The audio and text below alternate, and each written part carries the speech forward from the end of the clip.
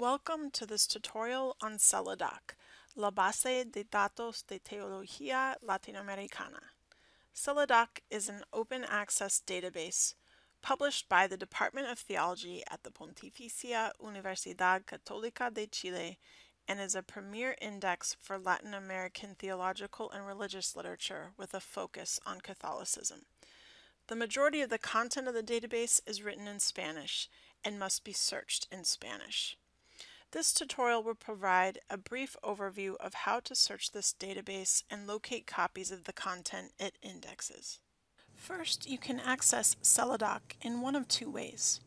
Through the BC portal by either clicking on the link provided in Research Guides or by searching on the title in the library catalog. When you access the database through the BC portal, you gain access to the Find It at BC buttons that help you access content in the library's collections.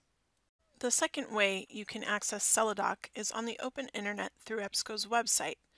This access point does not require BC credentials, and so anyone can use it. For the purposes of this tutorial, I will use the version of the database available through the BC portal. Note, though, that the search functionality is the same on both platforms. The advanced search page of this database includes the same features found on most EBSCO databases. It has drop-down menus that you can set to search particular fields and to set Boolean operators. Note that the field names on the interface are in English. If you'd like to switch that language, you can click on Languages and then click on the option of your choosing.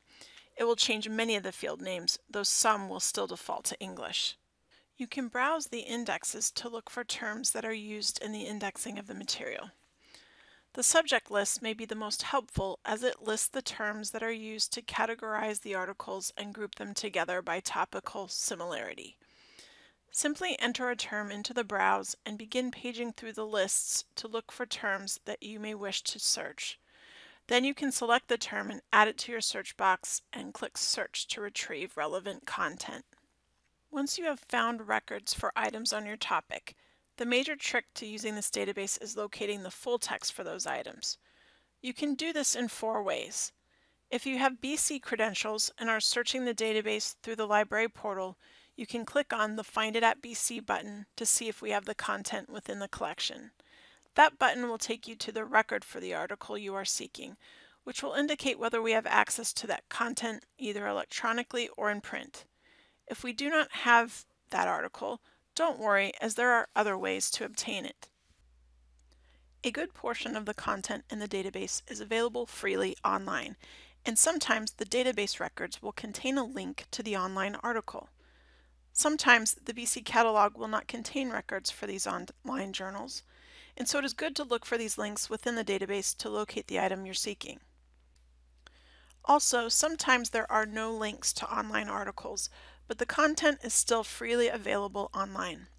If you are unable to find it by clicking on the Find It at BC button in the catalog or through a link to the resource in the database record, you can try searching for the article or journal title in Google and seeing if you can retrieve it that way. Finally, if you try those three methods and are still unable to locate the article, you can submit an interlibrary loan request for it and our library staff will try to obtain it from another library that has it. For details on how to submit an interlibrary loan request at BC, see the Hispanic Ministry Research Guide. That concludes this tutorial. If you have any questions, please contact the staff at the Theology and Ministry Library. Thank you.